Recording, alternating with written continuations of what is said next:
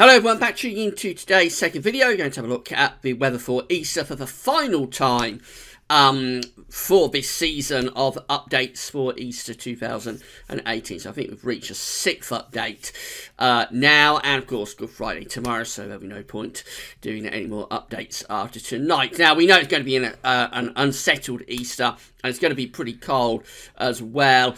There will be drier spells, I think, particularly focusing on Sunday as the best day of the Easter period. Uh, Easter doesn't look too bad at all. It won't be universally dry, it will be cold. That's going to be another feature of this Easter with temperatures remaining very suppressed and depressed uh, for what you would expect at the end of March or start of April. But Easter will be our best day. There's a question mark about Easter Monday. Uh, could we get some heavy snow? I think it's most likely for northern parts of the country, uh, maybe over high ground, but there is quite a bit of uncertainty about it. And uh, I would expect to see a snow watch turning up at some point over the uh, Easter weekend as we firm up on the detail for Easter Monday. So I'll talk you through everything that's going on uh, right now. But the final time, we're going to begin with the uh, weather for Good Friday. This is how the GFS is looking for Good Friday. Uh, with low pressure down to the south. So low pressure going to be dominating the whole of the uh, Easter period, really. And we're bringing in these chilly to cold sort of easterly winds. Upper air temperatures look generally quite cool. It is actually cold over Scotland and elsewhere. The temperatures, uh, upper air temperatures and surface temperatures are below average. We've got two areas of rain tomorrow. One will be across northeast England and eastern Scotland. Some of that could give sleet or snow over hills.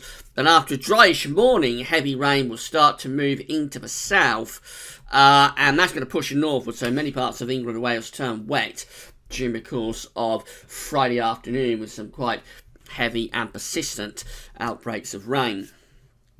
That's how the temperatures are looking on Good Friday. So we're in any brighter breaks, probably struggling up to around 10 degrees, that's 50 Fahrenheit, but under any persistent rain, temperatures are just 6 or 7, uh, really is the best we're going to get. Across eastern Scotland, northeast England, temperatures even colder than that. And these temperatures are below average for what is, of course, the penultimate day of March.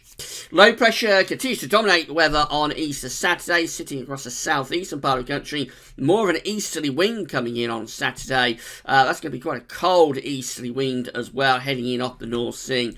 So it will be quite a raw feel, I think, with that easterly. There's the upper air temperatures. It's turning colder across the northern half of the country. And nowhere would you say it's particularly mild. The temperatures upper air temperatures are below average, but it's particularly cold uh, up in the north. There's all of the wet weather still left over from uh, Good Friday and sort of Friday night, Saturday morning, so still heavy rain across eastern and central parts of the country through the day, and that gradually moves more towards the east side. So the western side of the country will get the driest, brightest of the weather on Saturday, but eastern areas are likely to have further outbreaks of rain on and off through much of the day, and uh, some of that could be a bit wintry again, particularly across uh, across the northeastern parts of England. There's other temperatures for uh, Saturday. Very, very disappointing temperatures. The far southeast might scrape 10, 11, 12 degrees, but the bulk of the country is stuck down in single figures. Sevens and eights through the Midlands and central southern England. Uh, fours, five, sixes for Wales. Just threes and fours in northern England and further north than in Scotland, barely up to two or three degrees, way below average for what they expect on the final day of uh, March.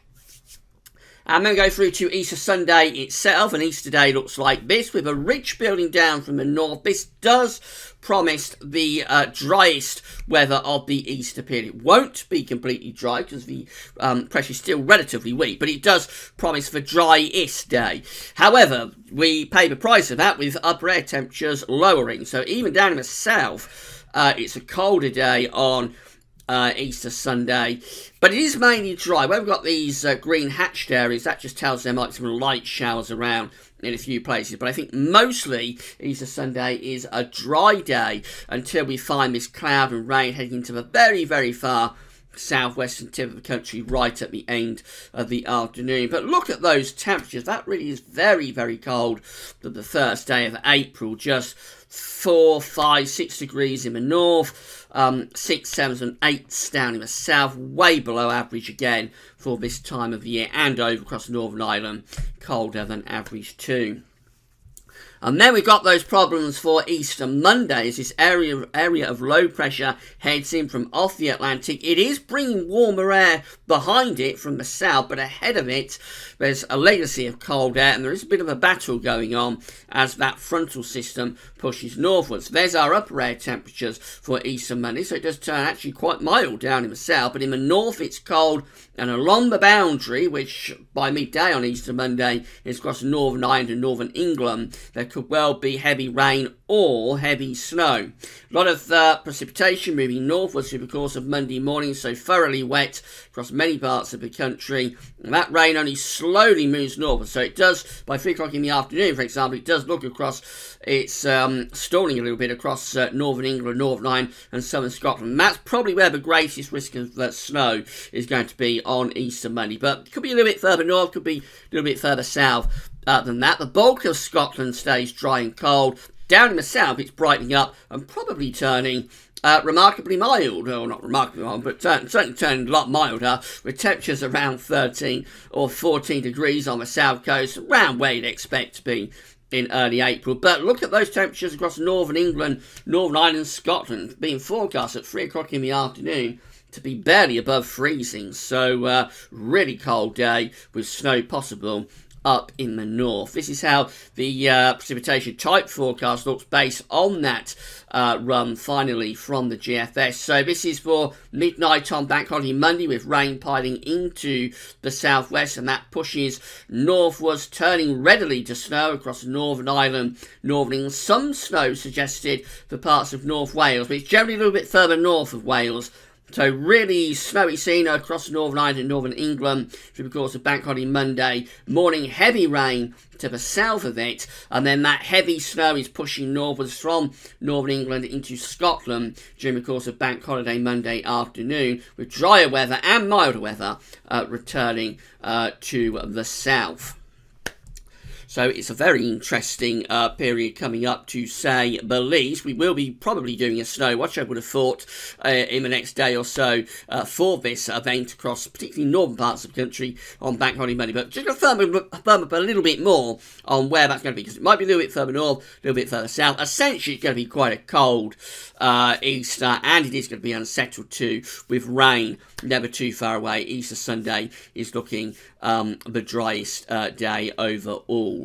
Um, and that's it. That's the uh, final Easter update uh, for this year. It's not the Easter weekend most of us would have wanted, but we just have to roll with whatever uh, the weather gods throw at us. And this year they've decided to be uh, quite unkind, giving us a lot of rain and those suppressed temperatures as well. But I'm sure we'll all make the most of it uh, in any case. Updates will continue at Gaz throughout the Easter weekend. Uh, we're going to be giving away a prize as well, so I'll just finish off talking about that. Uh, we're giving away the uh, combined weather dial. We've teamed up with metcheck.co.uk weather instrumentation. Um, so we've had over 180 entrants uh, for the competition uh, this year. a phenomenal response. You've still got time to enter to win this prize. All you have to do is email your name and address to gazoffice.gmail.com or fill out the contact form uh, on the competitions page, a page that I'm on right now. Uh, and uh, leave us your name and address. We'll place you into the prize draw. And on Sunday, on Easter Sunday, one person will be winning that uh, prize. So good luck to everybody that has entered. Um, and uh, just say other updates over the weekend will be weekend forecast. We're going to have some more analogues on Sunday for uh, the summer. There's a historic video, as always, on Bank Holiday Monday. We're going to be looking at the spring and summer of 2013 for our Easter Monday historic video. So updates will continue throughout the weekend, but whatever you're doing this Easter, have a great time. And uh, that's all for now, and thanks for watching.